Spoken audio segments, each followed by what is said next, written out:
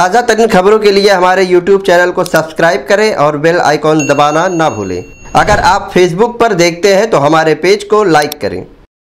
नमस्कार, मैं हूँ फिरोज हाशमी। महाराष्ट्र में इस साल होने वाले विधानसभा चुनाव में भारतीय जनता पार्टी और शिवसेना गठबंधन के बीच सीटों के बंटवारे को लेकर अभी कोई अंतिम फैसला नहीं लिया हुआ है। इससे पहले 50-50 फार्मूले की काफ़ी चर्चा हो चुकी है, लेकिन माना जा रहा है कि यह सीट बंटवारे का व्यवहारिक फार्मूला नहीं होगा।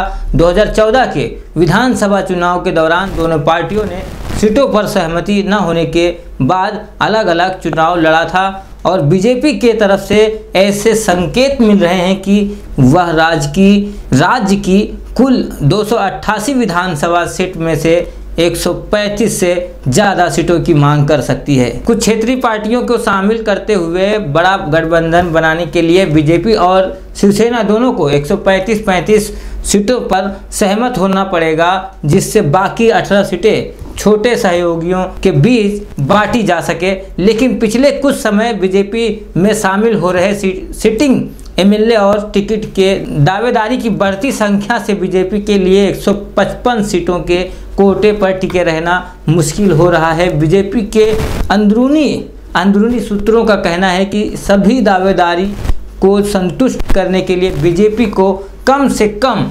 150 सीटों की ज़रूरत है। 2014 के विधानसभा चुनाव में सीटों पर सहमति न होने के बाद टूट गया था गठबंधन। पिछली बार के चुनाव में बीजेपी ने 122 और शिवसेना 63 सीटों पर हासिल की थी जीत। इस बार छह निर्दलीय विधायकों का भी समर्थन हासिल है। कांग्रेस और एनसीपी से चार विधायकों ने इस्तीफा देकर बीजेपी का दामन थामा है। और इसी के साथ समाज राजनीति से जुड़ी हुई खबरों को देखने के लिए देखते रहे प्रहार टाइम्स।